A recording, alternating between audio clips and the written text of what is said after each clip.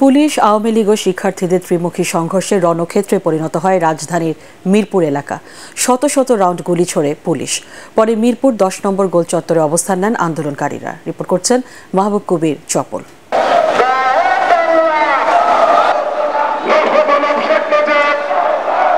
সকালে মিরপুর দশের গোল চত্বরে অবস্থান নেন আওয়ামী লীগের নেতাকর্মীরা এ সময় মহড়া দিতে দেখা যায় তাদের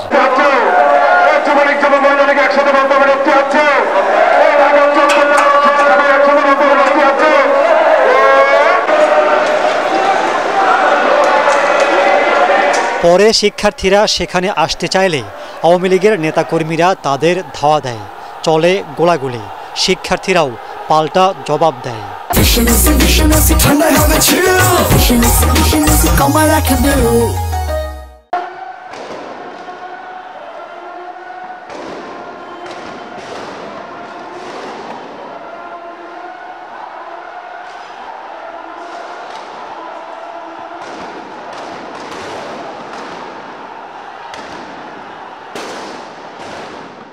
দুপুরের পর আওয়ামী লীগের নেতাকর্মীদের সাথে যোগ দেয় পুলিশ।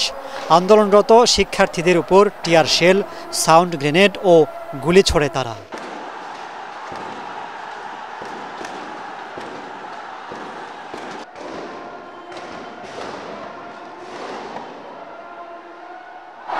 মুহুর্মুহু গুলির শব্দে কেঁপে ওঠে পুরো মিরপুর এলাকা।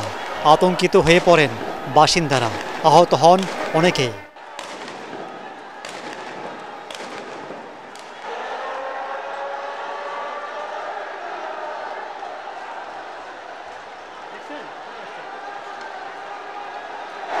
বিকেলে পুলিশ ও আওয়ামী লীগের নেতাকর্মীদের ধাওয়া দিয়ে মিরপুর দশের গোল চত্বরে অবস্থান নেন আন্দোলনরত শিক্ষার্থীরা। মাহবুব কবির চপল এটিএন বাংলা, ঢাকা।